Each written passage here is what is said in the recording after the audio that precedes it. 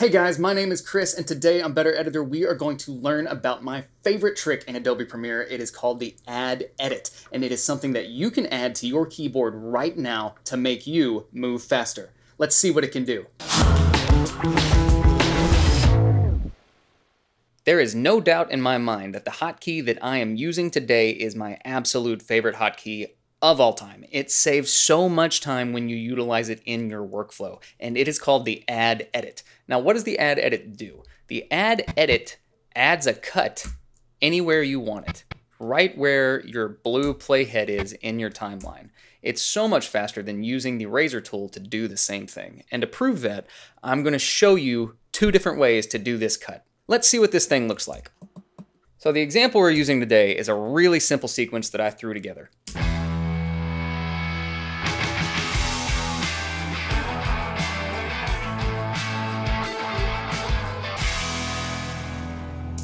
It's a masterpiece. I know. The cool thing is I'm going to let you download this footage and this music if you want to play around with the add edit key on your own. Just check out the description in the link below. All right, so let's build this cut the old fashioned way with the razor tool. We'll come here, make a new sequence, going to be ProRes 2398, and we'll call it Mustang Overdrive V2. Why not? And drag it up here. Okay, let's load our music. And I know that I want to use this end part of the song. I already have the endpoint marked for good measure so you hear what it sounds like. Right there where that guitar comes in. That, so I'll mark it in, come here, and we'll drop it into the sequence. Great. Stretch this out so we can see what we're doing. And let's play this back a little bit.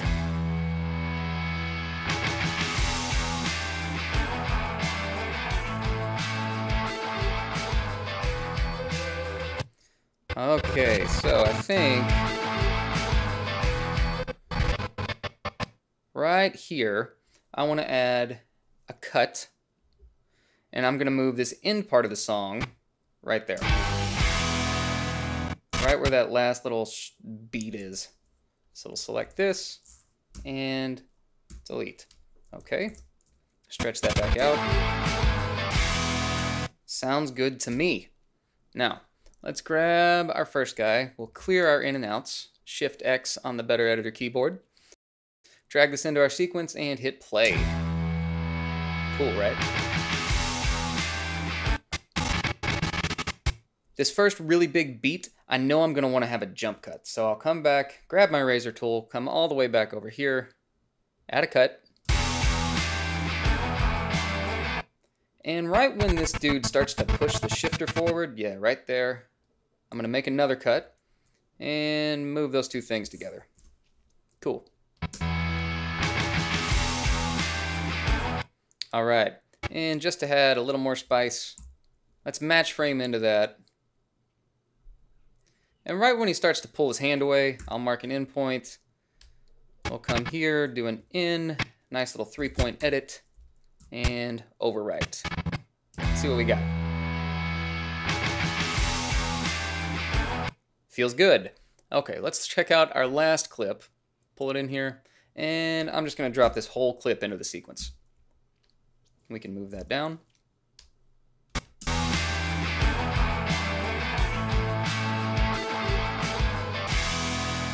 And to finish things up, we'll add a cross dissolve, make it one second, and there we go. Let's see what we got.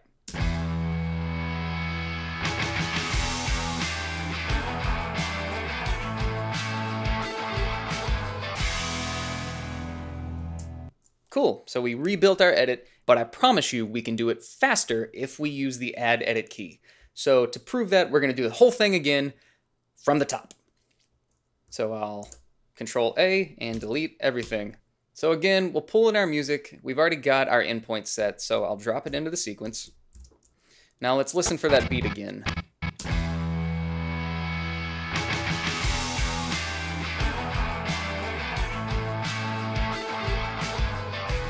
All right, so right about there, boom, look at that add edit. All I did was hit G and it added an edit right here. And the reason it did that is because this track is selected. Let me undo that. Now, If I unselect this track and hit G, nothing happens. If I select it, it adds a cut. But what you could also do is with the track unselected or selected, you could select the clip and add the edit. Okay, so let's keep going. And we're gonna move our beat. I think I'm a frame off. Okay, select that, delete it, and delete that. Wonderful. Stretch that out, come here, see our driver footage. We're gonna clear that in and out, drag it into our sequence. Right there on that hard beat, right here, let's pause real quick. I don't want to hit the G key without selecting something because V1 and Audio 1 are both targeted, so it's going to add a cut in both of these places. I don't want that. So let me undo that. I'm just going to select this clip and hit G to add the edit. Drag it forward right until we shift forward. Again, looking at the shifter. Drag this over here and boom. Okay. And let's go find that other clip that we wanted right here where we let's go of the key is what I think is nice. Okay, right there. We'll do our three point edit. Boom, boom, and boom. Cool. The last thing is I'm going to grab this red car and drop it in. And I know I want to add this dissolve, so let's go ahead and do it. All right, let's play it back.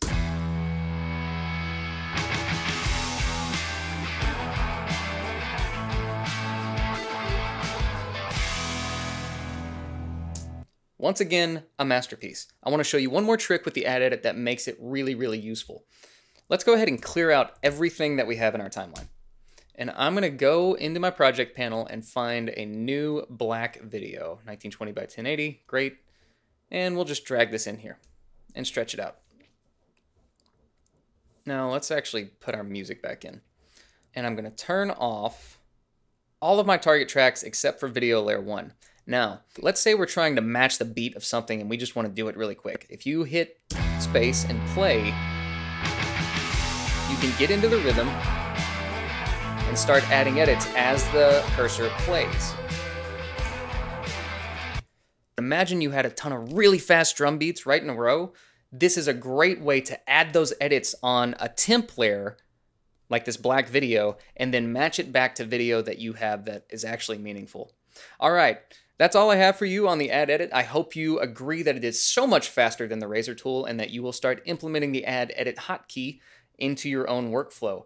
Once again, if you want to play around with the footage and the music that you've seen here, I'm going to add it as a link in the description below, and you can also download the Better Editor keyboard and project presets that you saw in this video as well.